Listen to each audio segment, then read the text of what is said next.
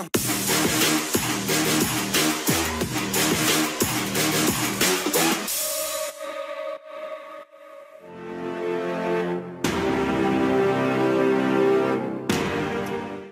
Good morning and it's lovely to be with you and thank you very much for the invitation to talk at this meeting.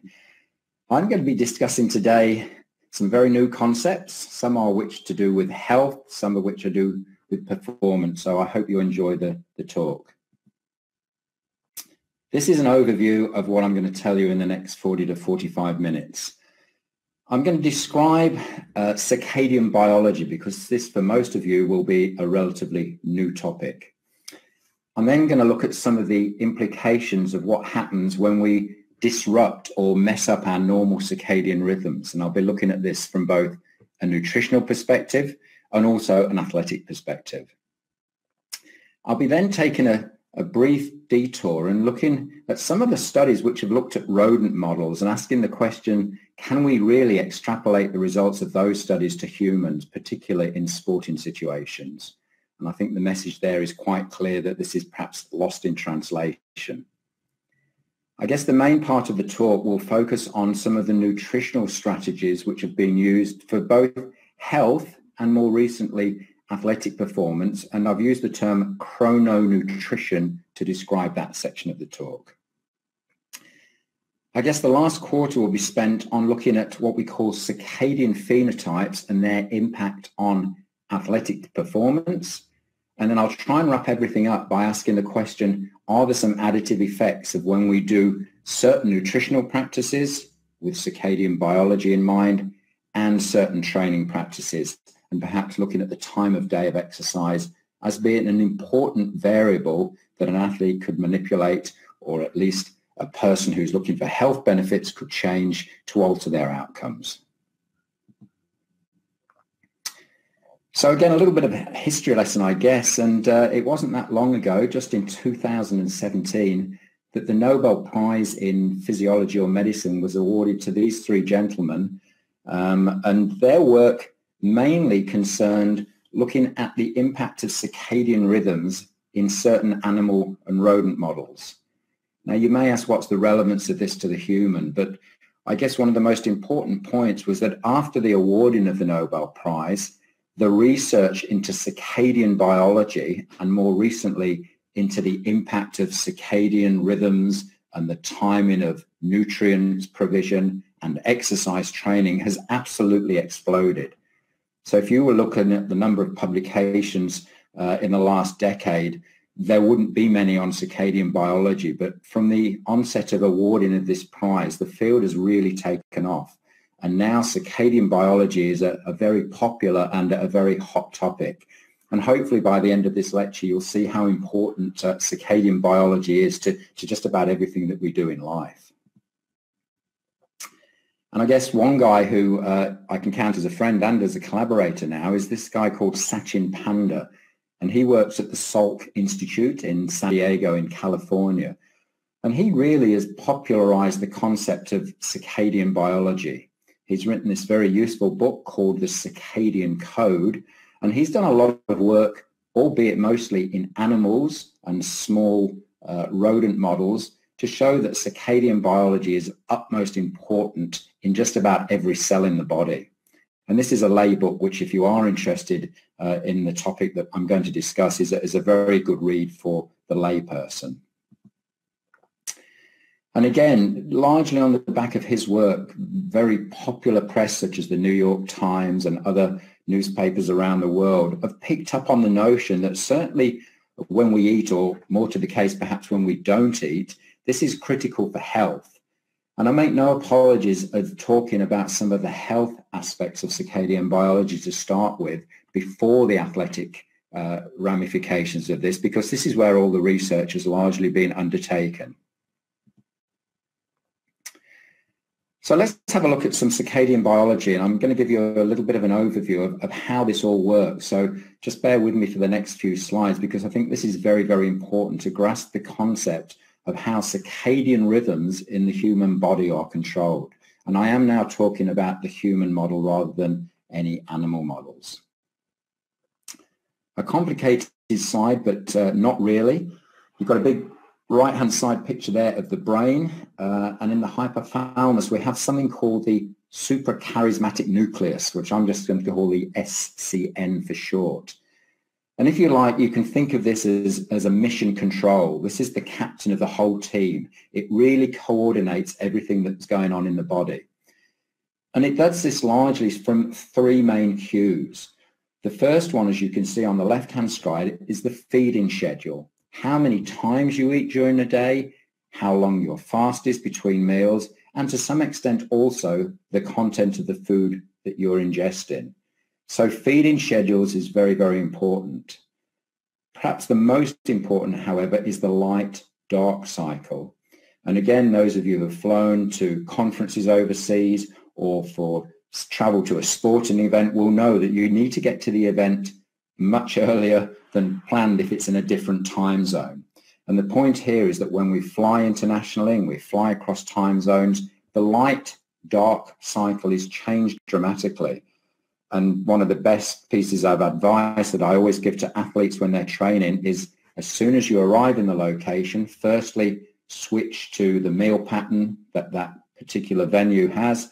And more importantly, get out into the sunlight because the sunlight is a main, main, what we call time giver uh, to the central nervous system. Finally, activity patterns are very, very, very important. And again, You've been on long haul flights where you're flying to a venue and you've been sitting for the most part for 8, 10, or in the case of Melbourne to Los Angeles, which I do frequently, 14 hours.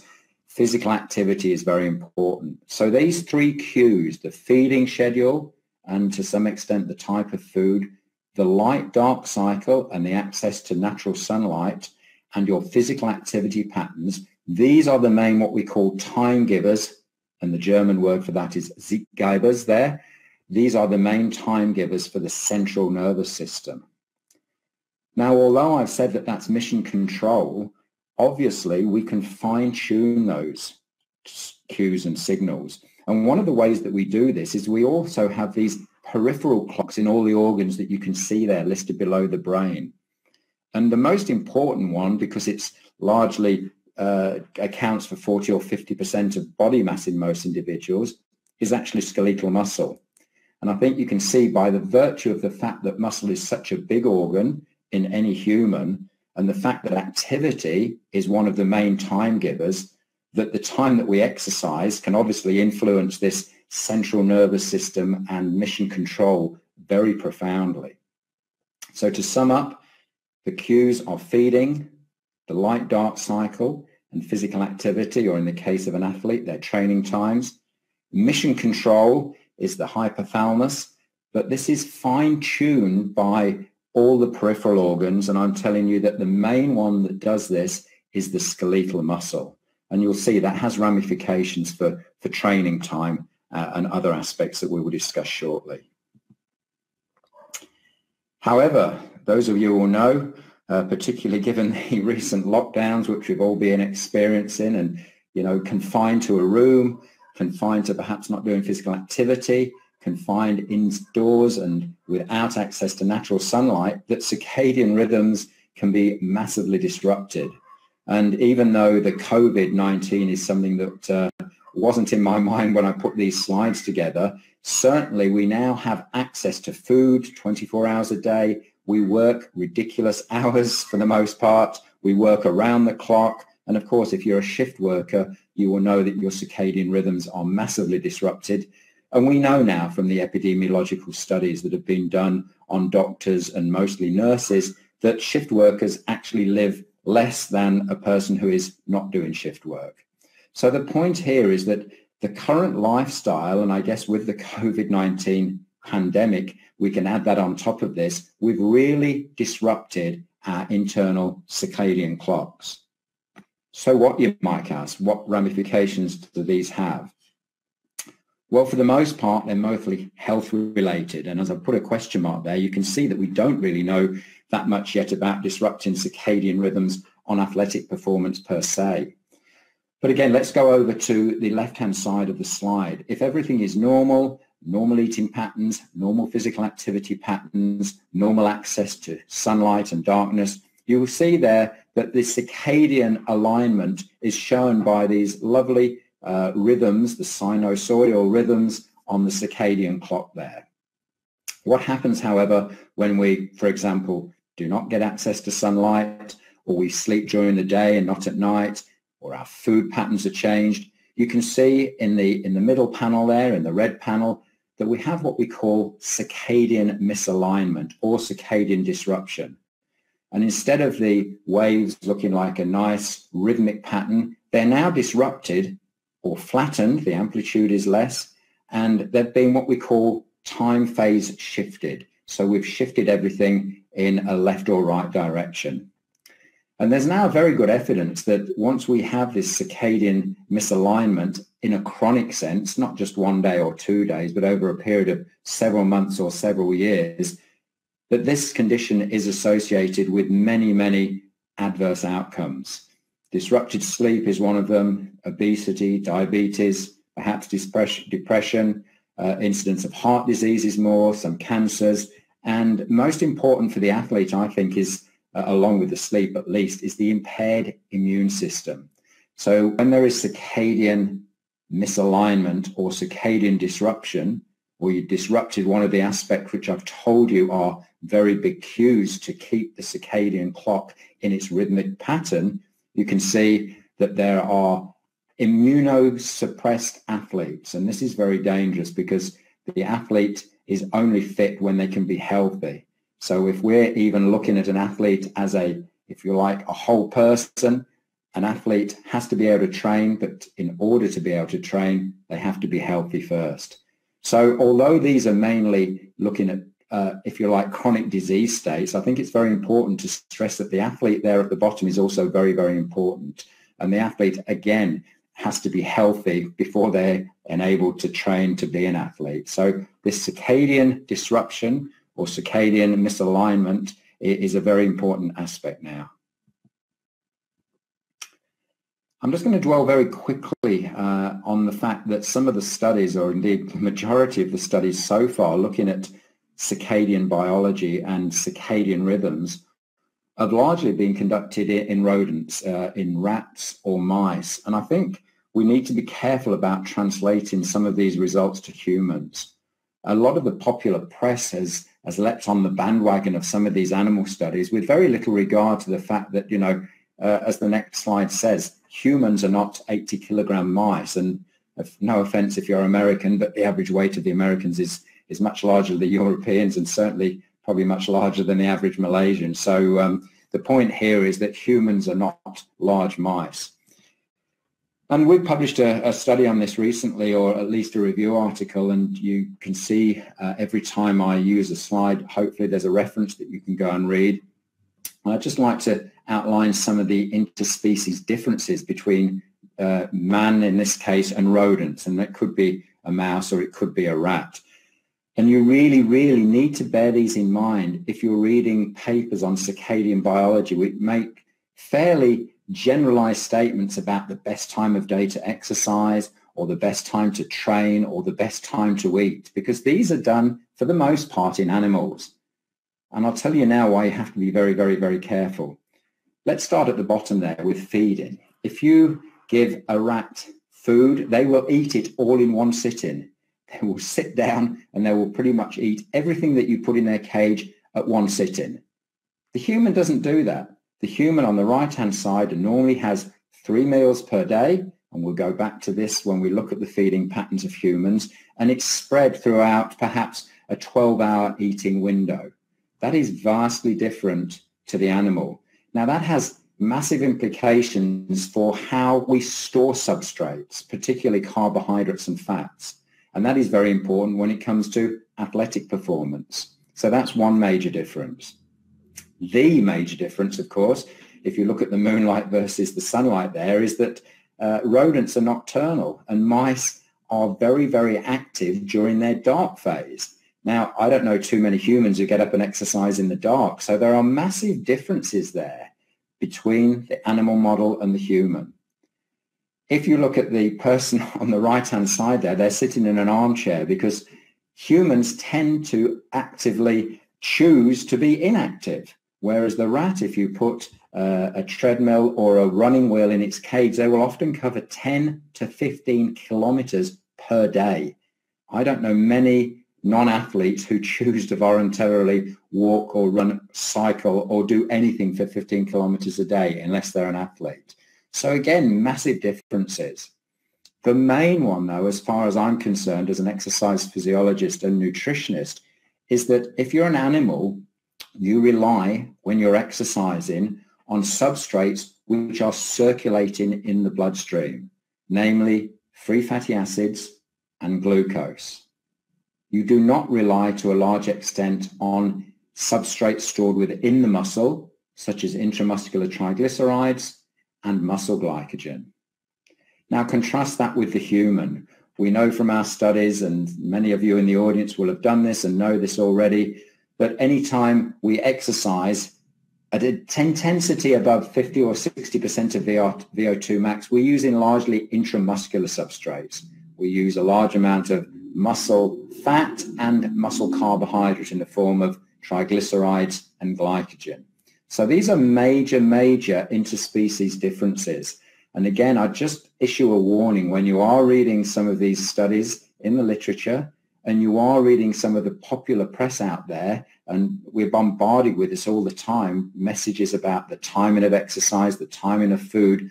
A large proportion of these studies have been done in animals, and I'm not sure that we can interpret those results directly to the human. So that's just a caveat as we go forward.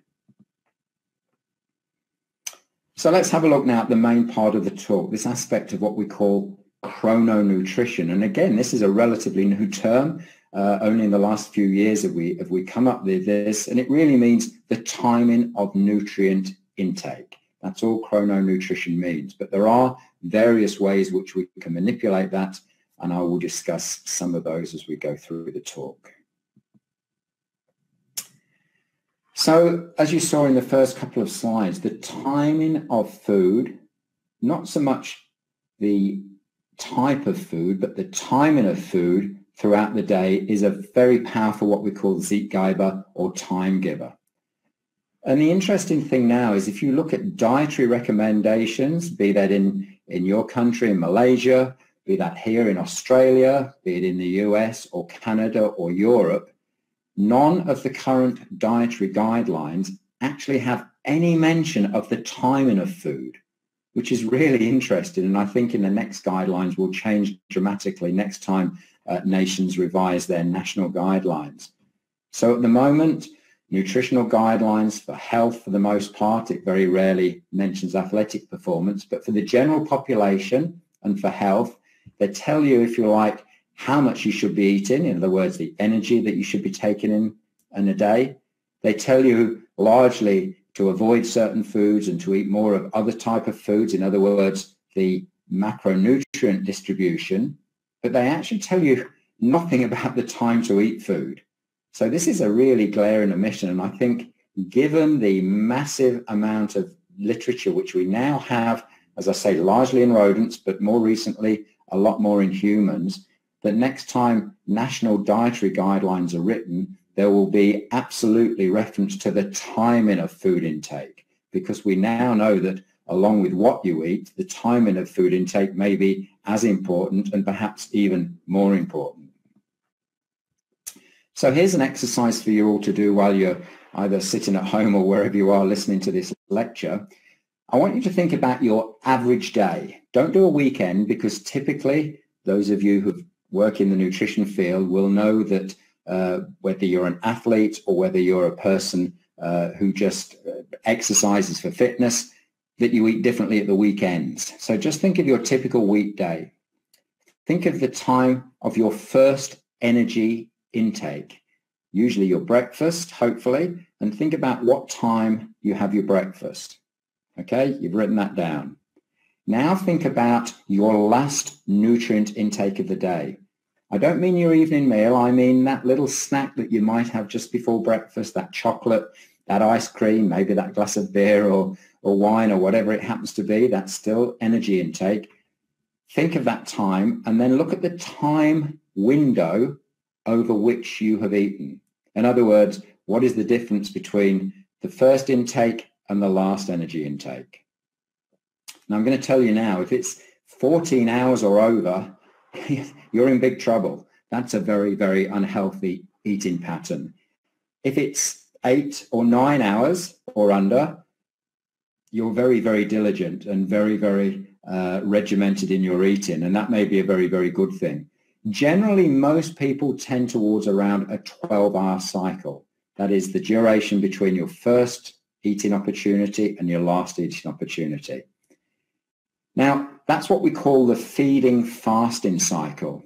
The feeding cycle is 8 to 10 hours or 8 to 12 hours, whichever yours happens to be. And the fasting cycle is the difference. And typically, you know, we've got things such as a, an 8-16 pattern, 8 hours of an eating window, 16 hours of fasting. And these are the things I'm going to discuss with you now, how we can alter that feeding fasting cycle and some of the implications for mostly health, but perhaps a few for performance.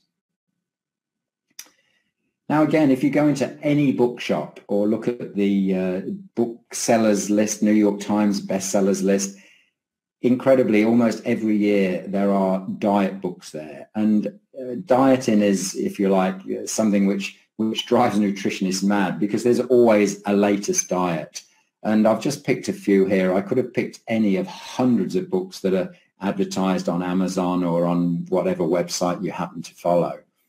And there's no question that this whole thing of fasting, intermittent fasting is a real fad at the moment. You've got medical doctors who, you know, purport to know something about nutrition, but really they don't because they get about two hours of teaching of nutrition in medical school in their six years of training. So you get people who write books who have very little knowledge about these things, but it doesn't stop them writing a book you've got the eight hour diet, you've got the fast diet, you've got the five plus two diet, which means you eat for five days and fast on two days. Obviously, the permutations are innumerable. You could think of any particular time phase and write a book about it. The point I want to make is that these are, for the most part, fad diets. And for the most part, they haven't been backed up by science. So just beware of things that are in the popular press. Very little research has been done into most of these lay books. And these, unfortunately, are the ones that are the best sellers and the ones that the public largely will pick up and go with. So it's very, very hard for you as educators, scientists, coaches, health professionals, whatever you field you work in, to come up against these sort of messages which are, are published in the lay press and then publicized even more. And a person comes to you with a preconceived notion of what they should be doing. It's very, very hard to refute that. But there is science out there for what I'm going to talk about, not necessarily for some of these popular books. And this is important, I think, just to um, just to get clear before we start talking about, uh, for the most part, time-restricted feeding, which I'm going to. So there are many ways that you can improve health, but for the most part, people are looking to lose weight. And the athlete, for the most part, is no different to this. There aren't many sports where having an excess of body fat, for example, is an advantage in any sport, particularly a weight-bearing sport such as running, for example. So most of these diets are aimed at losing weight. And I would say to you that that is not particularly always the end goal of any diet or energy uh, restriction or anything that we're going to talk about. If you're an athlete, you're concerned about your body composition, namely the ratio of your muscle lean mass to your fat mass. So again, when I go through this, although I'm going to talk about some of the health benefits to start with, um, really the athlete, it should be no different. And to the layperson, the layperson should be aiming to increase their lean mass and reduce their fat mass. So when athletes tell me their weight, I'm not really interested in body weight. It doesn't tell you anything at all. It just gives you uh, an assessment of their mass, uh, really, and nothing else. So look, look at the first one, chronic energy restriction. And you've got these diet books which reduce your daily in energy intake by up to 40%. So these diets, or what they really are is energy restriction uh, protocols, have sustained periods of energy restriction, you know, three months, six months, in which your daily intake is reduced by as much as 40%, but usually around 25% of calories that you take in. The caveat here is that your meal frequency and the timing of your meals remains unchanged. So in lay terms, you're just eating less at meal times.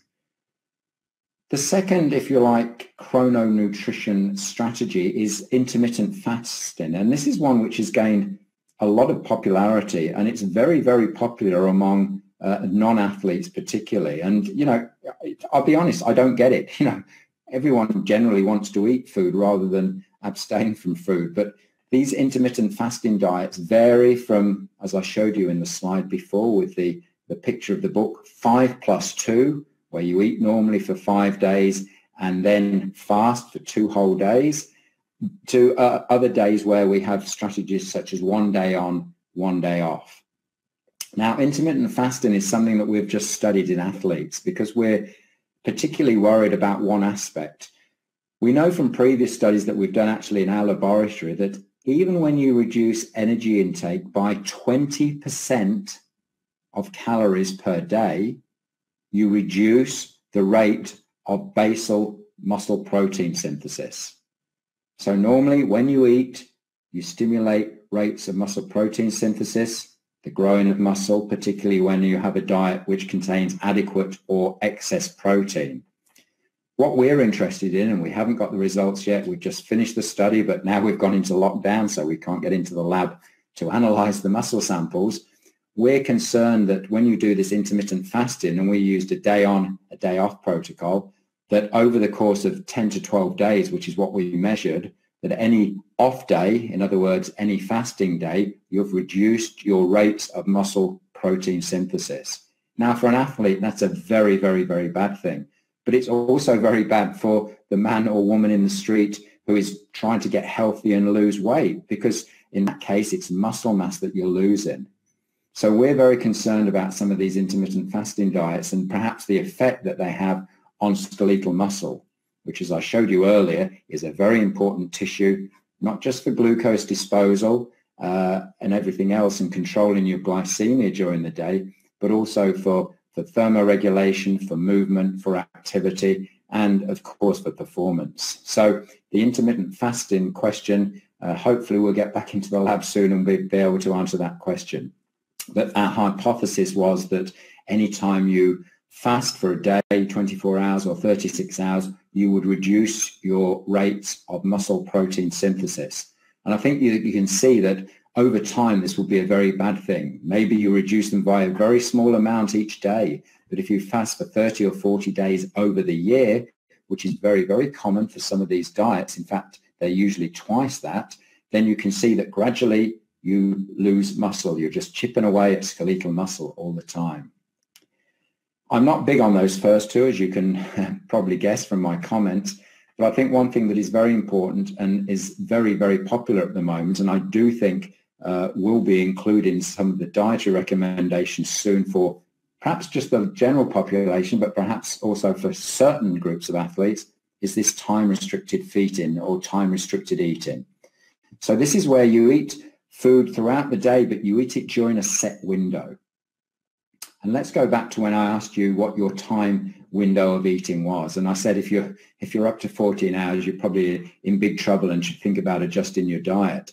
We typically try and say to, to our non-athletic populations, for the most part, try and restrict that eating window to eight to 10 hours per day. The closer you can get to eight, the better, but that's not sort of set in stone. So time restricted feeding refers to when people eat the same amount of food, but they just eat it over a shorter window. And this is the big message that I think is very, very important. We're not telling you to cut out carbohydrates, fat, ice cream, beer, whatever it is. We're just saying whatever you eat, eat it over a smaller time window. Now, as you'll see from the studies, when you tell people to do that, because they're used to eating over 12 hours, and now they can over uh, only eat under uh, conditions of eight hours, for example, they tend not to eat as much. So in, it is in effect starting to become a little bit of an energy restricted diet, but not in all the studies, that's for sure. So you may be asking yourself, well, prolonged fasting and time restricted eating, aren't they the same thing? Hasn't he just told us that in prolonged fasting, you know, you have days off and you uh, have this fasting period and then you eat and then you don't eat? Well, no, they're not. During time restricted feeding, there is always a window of eight to 10 hours during which you are eating. There is never a period of 24 or 48 hours when you are fasting completely. And the reason for that is, as we said, although the intermittent fasting and the chronic energy restriction are very good at stripping weight per se. In other words, when you get on the scales, there's less of you there. What they do for your muscle mass is very uncertain at the moment. And we think probably is very deleterious for both the layperson and also the athlete. So this is an important point, and you know this is a sad slide for me. This was actually taken in January this year in, in San Diego in California. And this is a guy called Paolo Sassone-Corsi, who is probably one of the world's leading components of uh, chrononutrition. And this was taken, as you can see, overlooking uh, the sea there in, in California. And unfortunately, Paolo passed away uh, during the COVID-19 crisis. So this is a, uh, and if you like, a very emotional stride because he's one of our collaborators and uh, a leader in this field. So I, I, take it as an honour that I've published with him and uh, hopefully we'll do a lot more in this area of work since uh, poor Paolo passed away. But this is a comment from our review article, which um, again, I wrote with Paolo. It should be emphasized that chronic energy restriction and intermittent fasting, the things that I've just talked about, are not chrononutritive strategies in other words, they don't pay any attention to the clock. They're just fast for a day, fast for two days, whatever it happens to be. Time restricted feeding does play on chrononutrition, and I'll show you why in the next couple of studies that I'm going to show you. Again, apologies, this isn't an athletic population, but there are very few studies that have been done on athletic populations. I just want to show you this uh, slide and this study because I think this is a very important study. And it was the seminal study that launched this concept of, of chrononutrition and time-restricted feeding. They had basically 156 subjects from memory. They were overweight subjects. They gave them a phone app and they asked them to record the times of day which they ate. I'm going to show you what that looks like. This is called a feedogram, which is a, a lovely term here. Here's your subjects, 156 subjects. And you can see from the dark shading that the majority of subjects and every dot represents an energy intake from one of those subjects. You can see from this slide that a lot of the eating was done after midday. And in fact, when they came back and analyzed this data, some 60% of all calories were ingested after 12 o'clock. In other words, there's a systematic bias, as the title of the slide says, towards consuming a large portion of your energy intake later in the day. And that may or may not be a good thing, as we'll see. Now, from this 156 uh, initial subject pool, they took eight subjects and they said, okay, eight subjects, we don't want to do anything as far as recommending what you should eat, but we want to tell you when to eat it. So what they did in this uh, study was tell eight of these subjects to eat the same amount of food, but just try and eat it over a shorter window. And by the way, the average window of energy intake here was 14 hours. 14 hours. So they asked the subjects, the small pool of eight subjects, to reduce that to between 8 and 10 hours. And here's what happened. Let's have a look at the slide on the left. These are your eight subjects in red and blue, and the red represents the eating window before the intervention took place. So in other words, you can see on the extreme left-hand side of your graph, this subject started eating the red bar at 7 o'clock in the morning and finished just before 10 o'clock. So that's a very large eating window. The investigators then encouraged the subjects to eat the same amount of food, but just over a shorter window. And you can see that in the case of subject number one here, they now started to have breakfast at around about 9 or 9.30, so they've delayed that. But they've also had their last intake of the day at around 7 o'clock rather than 10 o'clock. So they've reduced their window substantially. And you can see that each subject is different. And a question that I'm often asked is, does it make any difference when you have your eight-hour window? Could you start at 12 o'clock midday and finish at 8 o'clock? That's eight hours. Or should you start at, you know, earlier in the morning and finish earlier in the evening? The answer to that is we don't really know. And I think it's an issue of practicality. Um, in other words, if your schedule and your family life and your social kind of wants you to eat between certain hours, but so long as it's eight hours or 10 hours, then I think that's fine. I don't think we have the data yet to answer that question. The interesting thing here is if you look at the right-hand side uh, of the slide and the bar graph, they did lose weight uh, during the first part of the study there, but the interesting thing is that after one year, they kept it off. So during the uh, intervention period, when they were asked to time restrict feed and they were monitored by the scientists, they lost around, you know, two and a half, three kilos of weight. But the interesting thing is that when the scientists just let them go, these subjects, albeit only eight, actually kept to the time restricted feeding very, very well. And you can see that after a year, they'd still maintained their weight loss, which is very important because most people in these type of studies lose weight and then rebound to at least the same level and sometimes even overshoot. Now, this is of importance not only just to the general public, but I think for athletes as well, because this is often uh, the situation you see with athletes. And when athletes are trying to shed weight or body mass or body fat, to be more correct, before competition, one of the things that the dietitians and nutritionists will say is try and reduce the intake of your discretionary foods. Now, discretionary foods in these cases are, are all the ones that we like. You know, you've got your chips, your ice creams, your chocolates and everything else. And what they found in this study was that because they reduced the eating window, it reduced these, if you like, late night snacking opportunities. And the weight loss was largely attributed to shifting that last meal of the day in from like 8, 9 or 10 o'clock to perhaps five, six, or seven o'clock, which meant that the discretionary foods, and you can see them all here, the ones that we like, were largely eliminated from the diet. And when we looked back, or the researchers in that study looked back, they found out that the discretionary foods or lack of accounted for the majority of the weight loss. So that's a very interesting study and one that we call a proof of concept study. So what are the mechanisms, you know, underpinning this? Why is time-restricted feeding uh, seemingly at the moment so good. There are certainly no adverse effects of time-restricted feeding reported in, in either animal models or the human studies that have been done so far. And it's really because uh, the time-restricted feeding uh, allows the person to, to maintain these daily oscillations in their daily rhythms. And very, very important, the gut microbiota is largely oscillating nicely with these circadian rhythms. And when you restrict food to that eight to 10 hour window, these oscillations are very regular and very rhythmic. When you extend that eating window out and you eat over 10, 15, you know, 15 hours or so, these oscillations are disrupted. And the gut microbiome now seems to be very, very important in talking to other tissues in the body and, as we say, either maintaining or disrupting this uh, circadian pattern. So the gut microbiome is another area of very hot research at, at the moment. Just going to show you very quickly one study which we had published um, actually a couple of weeks ago.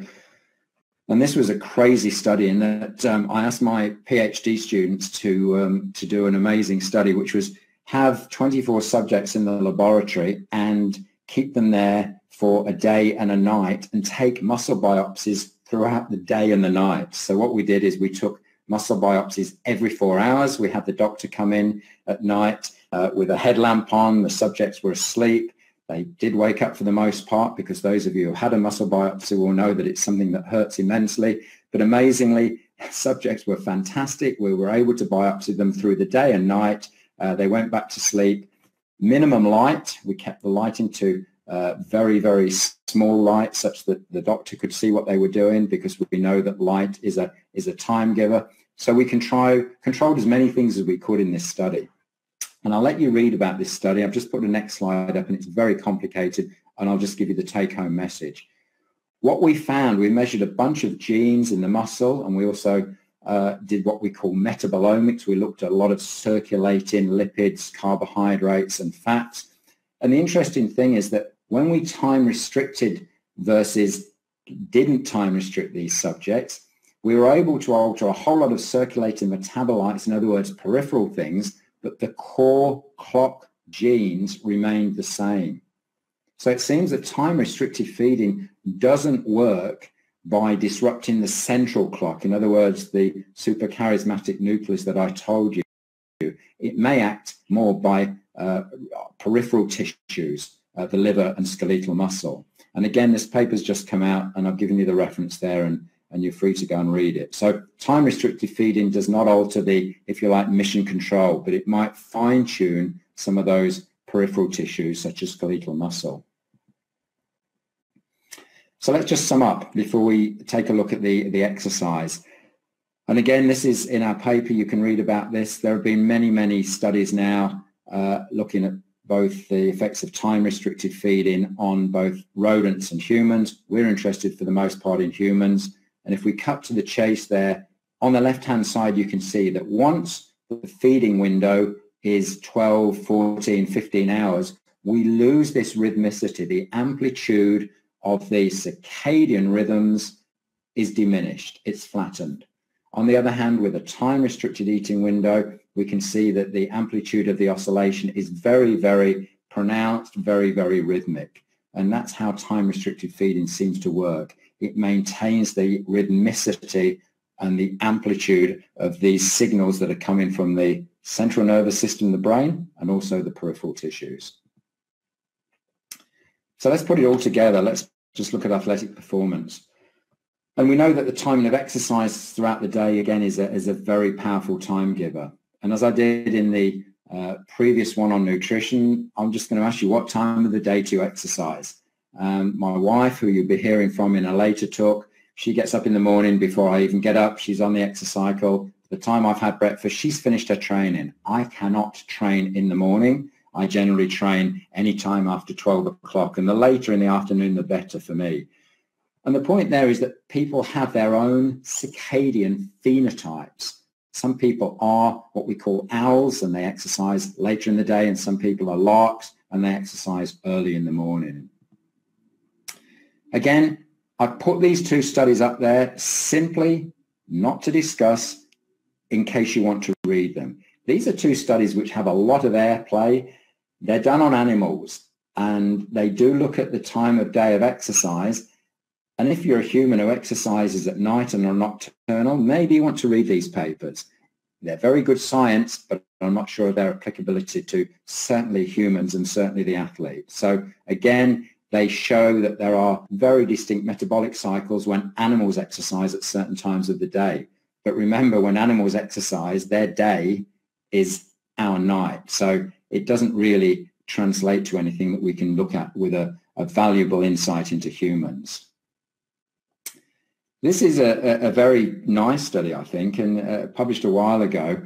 This is looking at the impact of a circadian phenotype and the time since you wake up on athletic performance.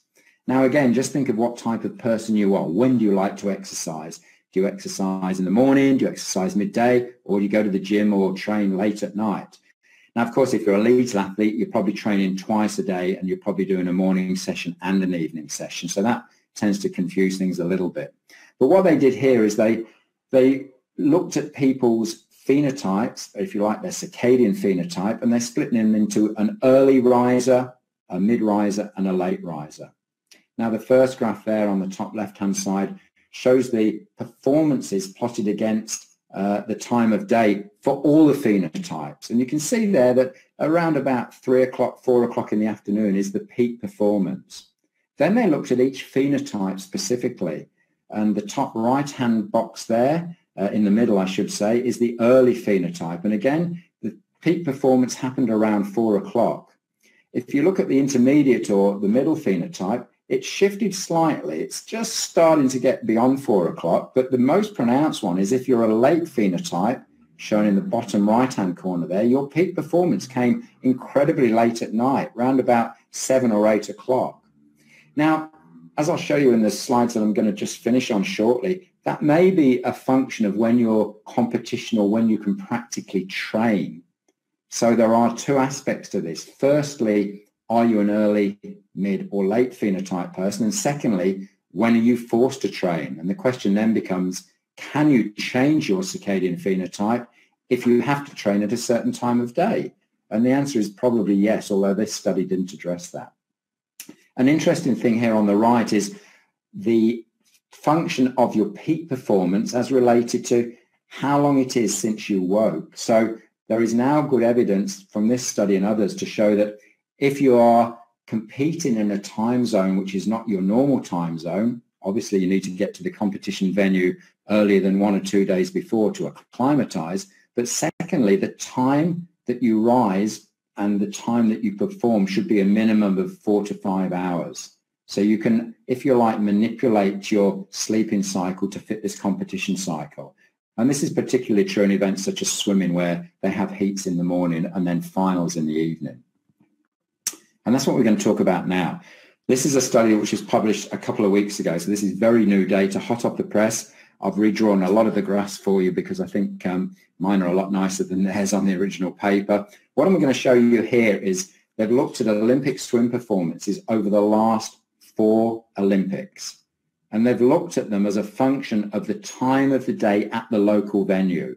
Now, you've got to assume that um, if you're one of these elite swimmers shown on the right-hand side, that you've gone to the venue, you've gone to Athens or Tokyo or London or wherever it happens to be, way ahead of the event and you're acclimatized. So you're on the local time. What's interesting is if you look at the, the red bars, they're the heats which are swum in the morning. And you can see that the performances are far worse than either the semi-finals or the finals, which are held at night. So in swimming at least, there is a massive tendency for the best performances to happen later in the day. So if you're a late phenotype, this perhaps plays into your hand. But on the other hand, you won't be in a final in the evening unless you've swum and qualified for your final in the morning. So that poses a massive dilemma for the swimmer.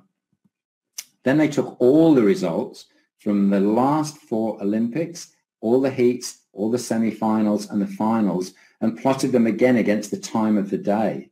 And you can see again that the best performances happened uh, in this, if you like, window between four o'clock and eight o'clock at night. Now that's a function of the fact that is that the phenotype or is it the fact that the finals are held at night? A very, very difficult one to discern there. But an interesting study and for the most part, I think the most comprehensive analysis of, of performances and circadian biology that have been undertaken to date. So let's just finish up in the last couple of minutes looking at the few, and there are, as I stressed before, few human studies looking at chrononutrition and training. This is one which uh, isn't actually out yet, but um, I think is in press and will be uh, published next January. I actually obtained this from the authors uh, ahead of press. And this is the effect of eight weeks of time-restricted feeding in, in male, middle and long-distance runners. They were reasonably well-trained, 60 mils per kilo. They're not going to get Olympic gold medals with that type of VO2, not in distance running anyway. They had eight weeks of time-restricted eating in which each individual was allowed to choose the eight-hour window in which they ate. So some people chose to actually start at perhaps 11 o'clock in the morning uh, and finish at uh, 7 or 8 o'clock at night, whereas others chose to choose that window and break it up to much earlier eating in the evening. So the subjects were free based around their training to choose the eight-hour window. They could choose what they ate, when they ate. There was no effect on any physiological variable, such as the submaximal oxygen cost of running, such as performance, or anything else. The only thing that was different, shown on the right-hand side here, is that the body mass of the subjects decreased with the time-restricted eating. So even though the subjects were told to eat the same amount of food, but just eat it in a different window, their body mass was reduced. Now, body mass, as I said earlier, doesn't tell you the whole story. It would have been nice to look at body composition, but certainly time-restricted feeding for the athletes, and at least the studies that have looked at this so far, seems to suggest that there's a little bit of weight loss, at least in the short term. Finally, the last slide, which shows you the effects of energy-restricted, time-restricted eating, combined, in this case, not with endurance activities, but with resistance exercise. And again, just in the interest of time, I'll whip through this study fairly quickly. The reference is there for you to read. But they did four weeks here of a time-restricted eating protocol, but they were also energy restricted. Okay, so they're time restricted and energy restricted. Because they were resistance trained subjects, They gave them a bucket full of protein, almost two grams a day. And as you can see on the right-hand side here, there were very little effects of the time-restricted feeding versus the normal dietary protocol. Uh, resting energy expenditure was the only thing that was reduced. And again, I would put it to you that that's not particularly a good thing. If resting energy expenditure is reduced, then perhaps lean muscle mass was also reduced. Um, and then again, the measures of strength and performance that they looked at were not significantly different.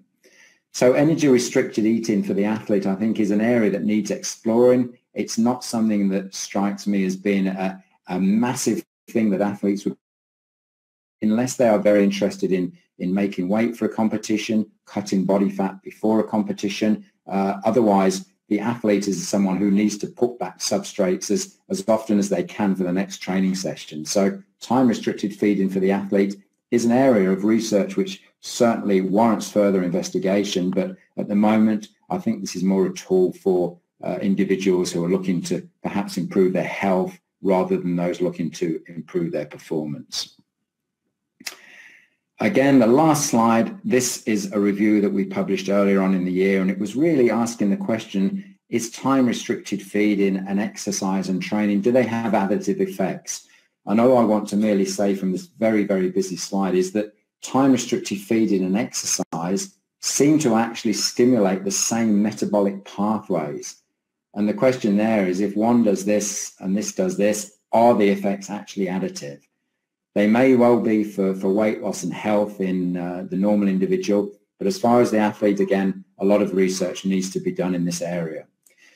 So I guess we can finish up there. We are quite welcome to have some questions in the session and I'll leave that for my talk now and thank you for listening.